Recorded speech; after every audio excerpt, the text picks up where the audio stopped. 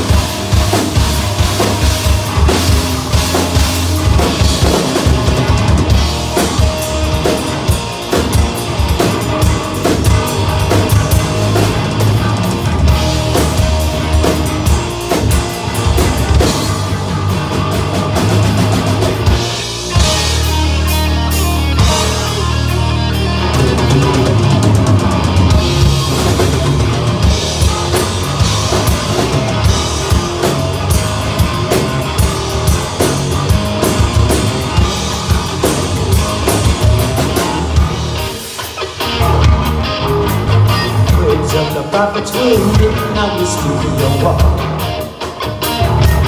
Concert.